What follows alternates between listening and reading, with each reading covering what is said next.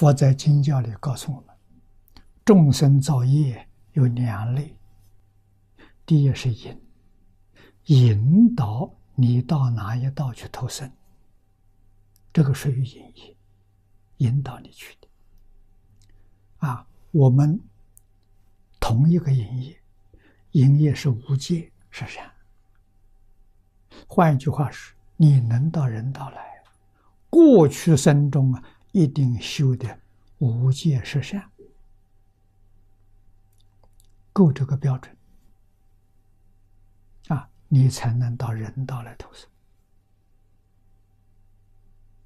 啊！到天道投生呢，要居住上品十善，也就是这个十善呢，应该达到九十分以上。这这种人生天啊，我们的十善五戒大概有五六十分就可以了，就能到人道。啊，引导你去的。那么到了人道来，你看看，贫富贵贱不一样啊。有人大富大贵，有人一生贫贱。这是什么原因呢？这叫满业，就讲的满业，满是圆满。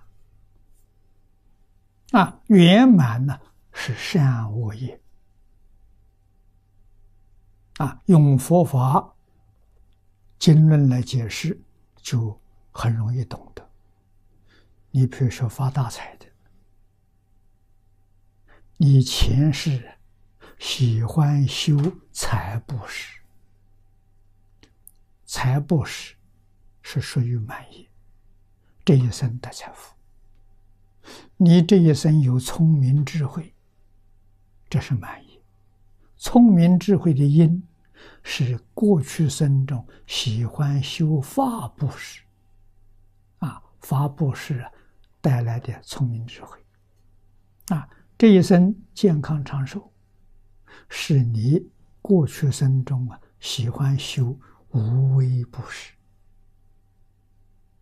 啊，这一生的果报啊健康长寿，啊，所以这营业跟满业，我们一定要知道。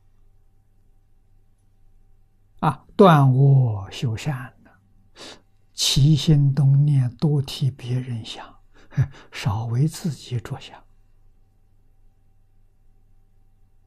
啊，念念想着，我们活在这个世界，应该全心全力去帮助别人，化解别人的苦难。这个营业好，满业也好。啊，这菩萨发心。